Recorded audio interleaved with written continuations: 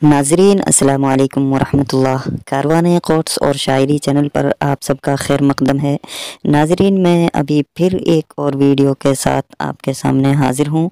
नाजरीन, इसमें मैं आपको बताने जा रहा हूँ कि शहाब भाई जो है केरला से सफ़र हज के लिए निकले थे, चार महीने के इंतज़ार के बाद फिर से दोबारा उन्होंने अपना सफ़र, यानी कि खासा गाँव से शुरू कर दिया है।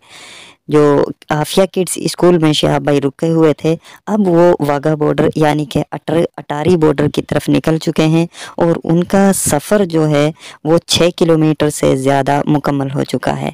तकरीबन यहाँ से वाघा बॉर्डर चौदह किलोमीटर की दूरी पर है तो आज ही शहाब भाई वाघा बॉर्डर क्रॉस करेंगे, अटारी बॉर्डर क्रॉस करेंगे। डॉक्टर जुनेद साहब शहाब भाई के साथ में थे, वो यही बता रहे हैं कि शाह भाई अटारी बॉर्डर क्रॉस करने के बाद आज जो तीन गाँव बीच में पड़ते हैं, उनको क्रॉस करके लाहौर में जा कर के रुकेंगे। तो यहाँ आप देख सकते हैं शहाब भाई की खुशी का ठिकाना नहीं है। उनके साथ में बहुत बड़ी तादाद में लोगों की भीड़ है। लोग फूल उनके ऊपर फेंकते हुए जा रहे हैं।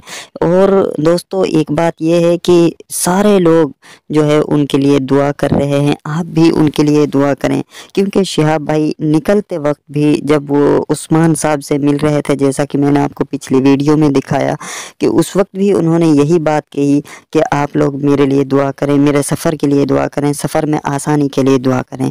क्योंकि मैं बहुत इंतज़ार के बाद, बड़ा लंबा इंतज़ार मुझे इस सफ़र के लिए करना पड़ा है, लेकिन अल्लाह रब्बुल ने मेरी पूरी बात सुनी है और अल्लाह ताला ने मुझे ये मौका दिया है कि मैं आगे अपना सफ़र जारी रखूँ। तो इन मैं अपना सफ़र जारी रखूँगा। तो दोस्तों, आप भी उनके सफ़र के लिए दुआ करते रहें, जल्द हाजिर होते हैं नई वीडियो के साथ। आप हमारे वीडियो को मुकम्मल देखें। असलकम वरहमतुल्लाह।